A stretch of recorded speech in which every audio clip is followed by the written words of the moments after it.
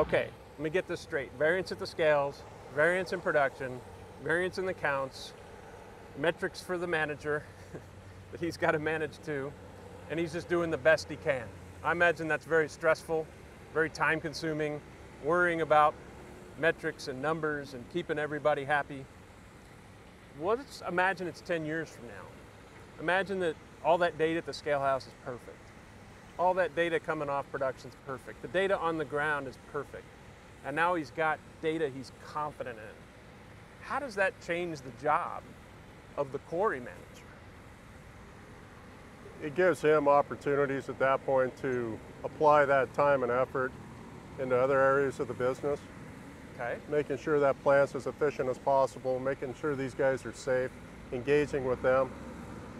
There's a lot of different variables involved with uh, these guys having to be held to those standards and those metrics.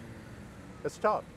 It really is. And if that does happen, you know, I'm sure they're going to embrace a day when they don't have to go into that monthly P&L and say, I don't know where it went.